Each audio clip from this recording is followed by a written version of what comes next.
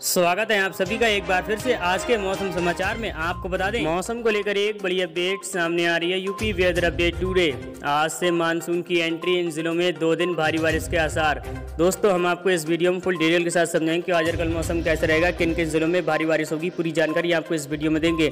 उससे पहले आपसे रिक्वेस्ट है वीडियो को शुरू से लेकर लास्ट तक ज़रूर देखें। रोज डेली मौसम की ताज़ा जानकारी सबसे पहले अपडेट रहने के लिए हमारे यूट्यूब चैनल को सब्सक्राइब ज़रूर कर लें। दोस्तों, आप हमारे इस वीडियो किस राज्य से, किस ज़िले से देख रहे हैं कमेंट सेक्शन में अपने राज्य और ज़िले के नाम ज़रूर बताएँ, ताकि हम आपके यहाँ की मौसम की जानकारी आपको बता सकें। ये दोस्तों, आपको बता दें पिछले कई दिनों से भीषण गर्मी और लू के थपेड़ों से परेशान प्रदेशवासियों को आज से थोड़ी राहत मिलने जा रही है।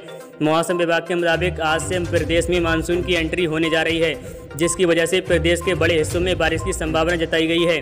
आज रात से ही कई जिलों में मौसम ने करबट ली है। गोंडा और अयोध्या से सटे जिलों में मौसम सुहाना हो गया है। आज रात से ही रुक रुक कर बारिश से तापमान में गिरावट देखने को मिली है।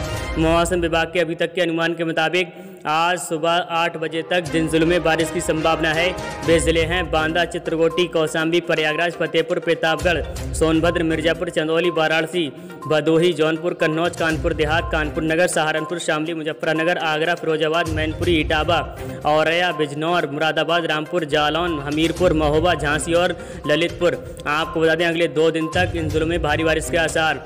आपको बता दें, जिन दिनों में दो दिन दो दिन के, दो दिन तक भारी बारिश के आसार हैं वे ज़िले हैं, नोएडा, लखनऊ, वाराणसी, प्रयागराज, मेरठ, कानपुर, बांदा, चित्रकोटी, कौशाम्बी, फतेहपुर, प्रतापगढ़, सोनभद्र, मिर्जापुर, चंदौली, भदोही, जौनपुर, गाजीपुर, आजमगढ़, मऊ, बलिया, देवरिया गोरखपुर संत कबीर नगर बस्ती कुशीनगर, महाराजगंज, सिद्धार्थनगर, गोंडा, बलरामपुर स्वास्त्री बहराज लखीमपुर, खीरी, सीतापुर, हरदोई फरुखाबाद उन्नाव बाराबंकी, रायबरेली, अमेठी सुल्तानगर अयोध्या अंबेडकर नगर, सहारनपुर, शामली, मुजफ्फरनगर, बागपत, गाजियाबाद, हापुड़, बुलंदशहर, अलीगढ़, मथुरा, हाथरस, कांसगंज, एटा, बिजनौर, अमरोहा, मुरादाबाद, रामपुर, बरेली, पीलीभीत, शाहजहाँपुर, संबल और बदायूं।